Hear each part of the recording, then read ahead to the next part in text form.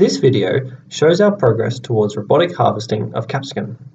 This work is part of QUT's strategic investment in farm robotics, sponsored by the Queensland Government and conducted under the Australian Centre for Robotic Vision.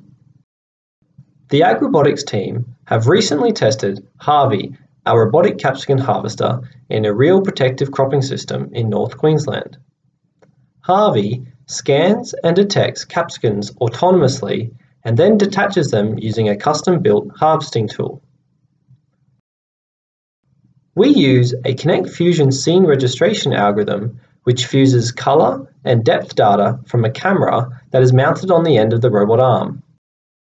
As the robot scans around the capsicum, a model of the scene is created.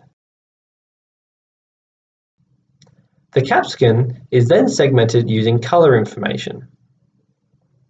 The shape and pose of the capsicum is then estimated by fitting a geometric model to the segmented point cloud.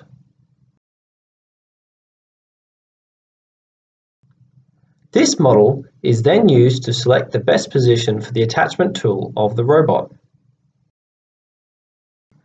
We have conducted over 50 trials in a real protective cropping system. Harvey achieved a 60% success rate of attaching the tool to each capsicum and a promising 90% success rate for detachment of the capsicums using his cutting tool. This leaves room for improvement in the design of the attachment technique.